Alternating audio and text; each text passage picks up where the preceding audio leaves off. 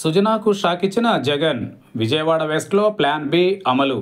Vijayawada west assembly నియోజకవర్గంలో కూటమి తరఫున బీజేపీ అభ్యర్థిగా సుజనా చౌదరి బరిలో ఉన్నారు. ఇక్కడ ఆసిఫ్ అనే ఓ సామాన్య మైనారిటీ నాయకుడికి సీఎం జగన్ అవకాశం ఇచ్చారు.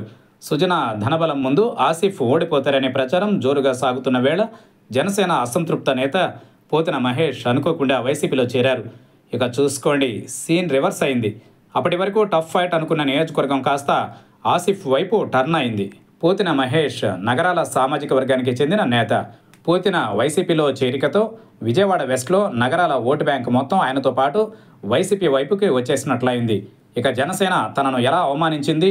పవన్ తనను ఎలా వాడుకుని వదిలేస్తారనే విషయాలను కూడా పోతిన హైలైట్ చేస్తూ ఆ పార్టీ పరువు తీస్తున్నారు. దీంతో వైసీపీకి క్రమక్రమంగా మరింత మద్దతు పెరుగుతోంది.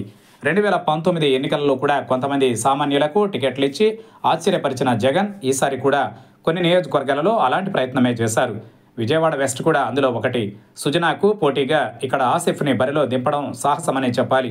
కానీ జగన్ మాస్టర్ ప్లాన్ ముందు సుజన ఇప్పుడు విరవిల్లాడిపోతున్నారు ఆసిఫ్ ప్రచారంతో సుజనాకు పెద్దగా ఇబ్బంది లేకపోయినా పోతిన రాకతో మాటల తోటాలు పేలుతున్నాయి. ఢిల్లీ నుండి ఊడిపడిన సుజనా చౌదరి ఎప్పుడూ వార్డు మెంబర్గా కూడా పోటీ చేయలేదని ప్రచారంలో సెటైర్లు పేల్చారు పోతిన మహేష్. అవకాశాలు కేసులను బట్టి సుజన పార్టీ మారిపోయారని బ్యాంకులను కొలగొట్టిన సుజనా చౌదరి కోసం చంద్రబాబు పవన్ కళ్యాణ్ నిలబడ్డారని ఎద్దేవా చేశారు. నగరాల ఆత్మగౌరవం కోసం తాను సుజనాను వ్యతిరేకించానని చెప్పారు పోతిన మహేష్. నగరాలకు విజయవాడ మేయర్ పదవితో పాటు దుర్గగుడి చైర్మన్ శ్రీశైలంలో యాభై సెంట్ల భూమి ఇచ్చి సీఎం జగన్ తమ వర్గానికి న్యాయం చేశారని అన్నారు. బీసీలకు గుర్తింపు ఇచ్చిన జగన్ నగరాల కార్పొరేషన్ ఏర్పాటు చేశారన్నారు. సుజన లోకల్ కాదు నేను లోకల్ ఆసిఫ్ లోకల్. సుజన పేద ప్రజల మనిషి కాదు.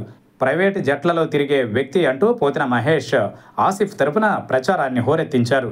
వైసీపీ ప్రచారంలో పోతిన మహేష్ని ముందు వరుసలో నిలబెట్టడంతో ఇక్కడ సుజనాకు మరిన్ని కష్టాలు మొదలయ్యాయి.